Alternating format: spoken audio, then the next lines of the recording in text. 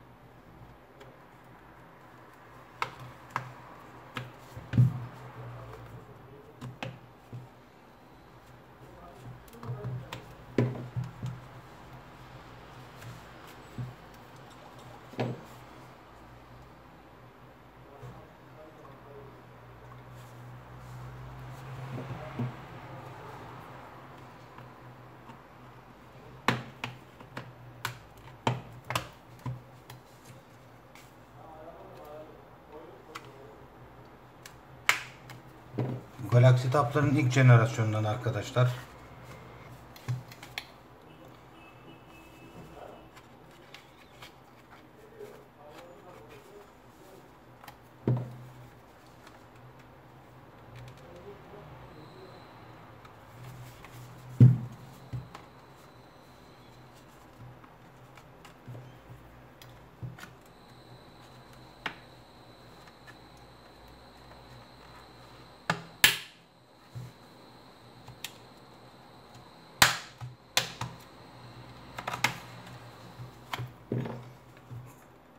Kasayı kanaldan çıkartmak bazen uğraştırabiliyor arkadaşlar. Şöyle spatula ağızlı bir materyal kullanarak tırnaklardan kurtarmanız lazım arkadaşlar. Çünkü bu kasa yatağı içerisinde tırnaklar tutuyor cihazı.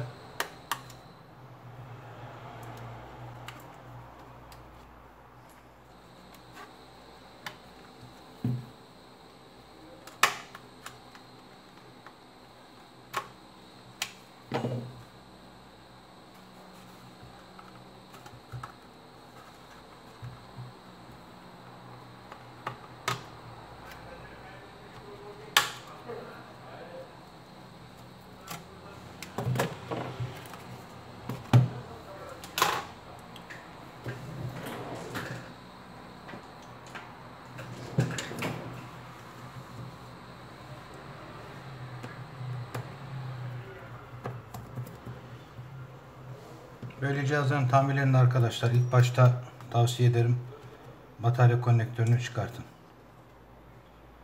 Yani cihazın elektrikle temasını kesin arkadaşlar.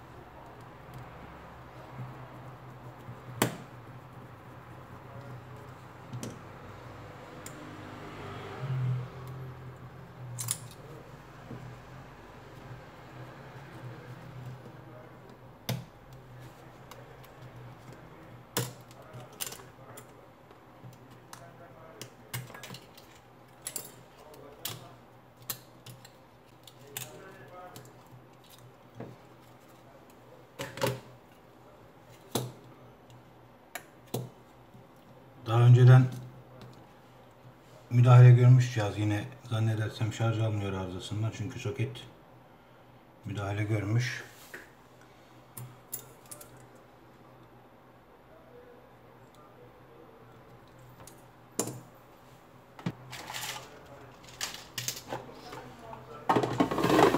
Günümüz için eski bir model olsa da arkadaşlar vakti zamanında bunların tamiriyle çok uğraştım.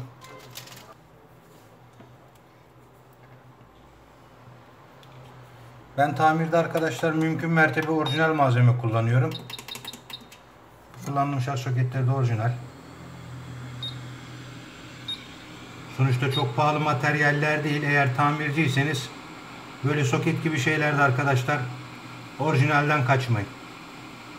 Mutlaka orijinal kullanın. Hemen hızlı pratik şekilde değiştireceğim zaten.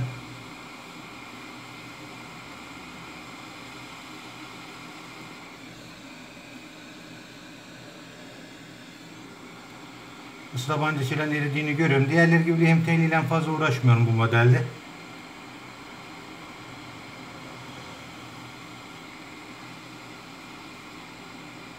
Şöyle biraz hareket ettirirseniz tamam.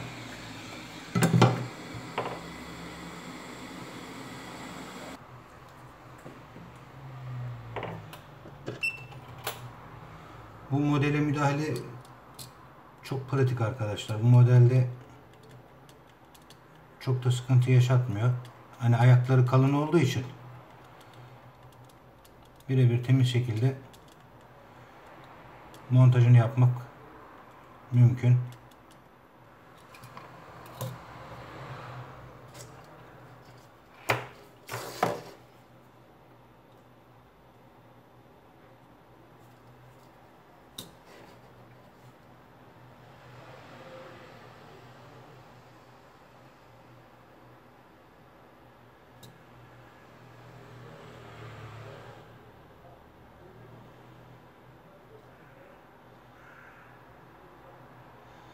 Buradan belli olmuyor mu arkadaşlar? Ben lehimi buradan alt tarafa yediriyorum.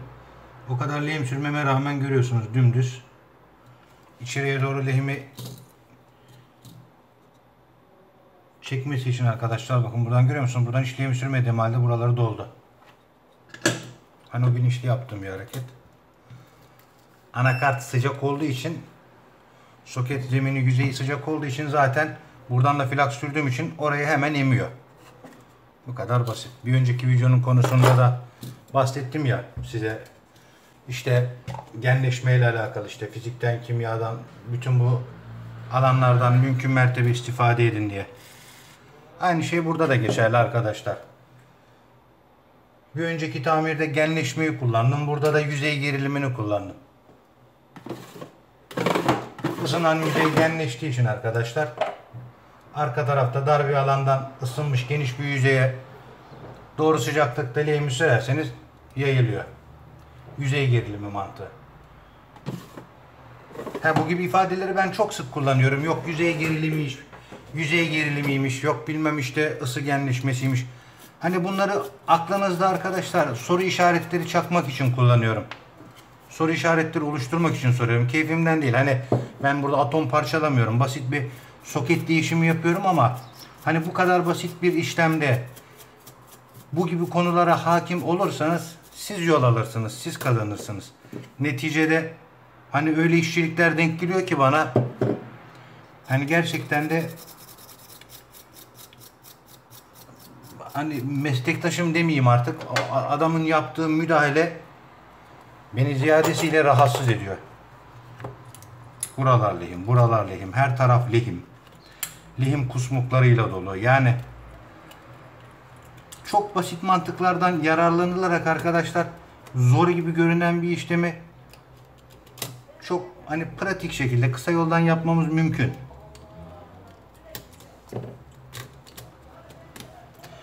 Burada yapmamız gereken tek şey doğru bir yol izlemek. Tabii size anlatırken kamerayı takmadan telefon tableti topluyorum.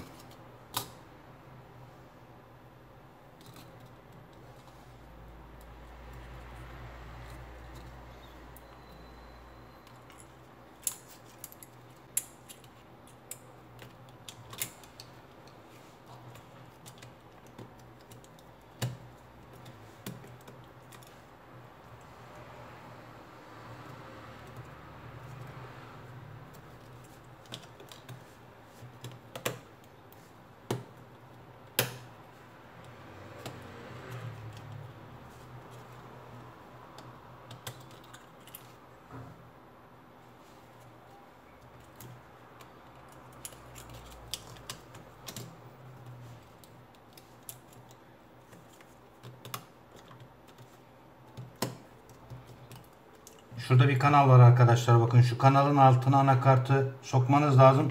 Yoksa havada kalır. Sıkıntı yaşarsınız.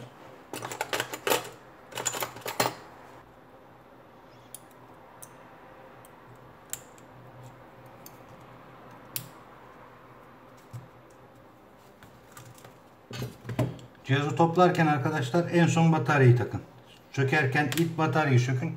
Toplarken en son bataryayı. Çünkü dediğim gibi cihazın üzerindeki elektrik dolaşımını kapatırsanız risk almamış olursunuz. Bayağıdır da bu modeli sökmediğim için biraz hamlamışım arkadaşlar. Toplarken bir iki yerde hata yaptım.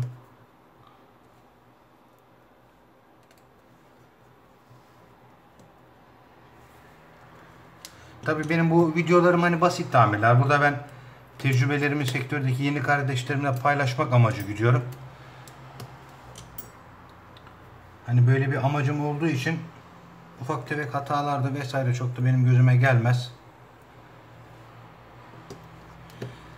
İzleyen kardeşlerimden birkaç tanesinin aklında ya bu yüzey gerilimi nedir? Ya bu ısı genleşmesi nedir? Ya da genleşme nedir? Sorularını çakabildiysem bu benim için yeterlidir. Yoksa şunun şarj soketini değiştirmek hani sadece birazcık hani el yeteneği. Çok da hani bunun için teorik böyle okul okumaya gerek yok. Ama dediğim gibi arkadaşlar işi sağlıklı temiz şekilde yapmak istiyorsanız belli başlı temel şeylerden haberdar olmanızda yarar var. Yarım saattir konuşuyorum ama yani toplasanız şurada uğraştım 2 dakika. Arkadaşlar izlediğiniz için teşekkür ediyorum. Cihazımız eski bir model. Samsung Galaxy Tab 3 şarj almıyordu. Şarj soketi zaten içeriden yanmıştı. Erimiş artık. Şarj soketi değişimini yaptım. Ben e, haliyle bunun biraz şarjda tutacağım. Bu videoda da dediğim gibi arkadaşlar temel bazı şeyleri aklınızda hani canlandırmaya çalıştım. Temel bazı işte fizik üzerine bizim de hani tamircilerin, elektronikçilerin istifade edebileceği bazı mantıklar arkadaşlar. Özellikle sektördeki yeni kardeşlerimin zihninde canlandırmaya, onların ilgilerini, meraklarını o noktalara çekmeye çalıştım. Bu seferki hani ders değilim ya ufaktan. Konusu yüzey gerilim olsun. Bu videoyu izledikten sonra bence arkadaşlar YouTube'da biraz yüzey gerilimi üzerine araştırmalar yapın. Bir önceki videoda da arkadaşlar belirttim zaten şeyi. Ee, ısı genleşmesini arkadaşlar. Yani genleşmeyi avantaja nasıl çevirebiliriz tamirde konusunu da araştırın. Genleşme nedir? Konusunda araştırmalar yapın. Yüzey gerilimi konusunda araştırmalar yapın. Kendinizi geliştirin arkadaşlar. Bu gibi temel kavramları işte konusu fizik olabilir, kimya olabilir, biyoloji olabilir vesaire. Bu gibi temel kavramlar arkadaşlar zihninizde ne kadar bilinçaltınızda data olarak, veri olarak doldurursanız bence o kadar donanımlı, usta olma yolunda ilerlersiniz. Bir sonraki videoda görüşürüz arkadaşlar. Hakkınızı helal edin. Sürçülisan ettiysek affola. Allah'a emanet olun.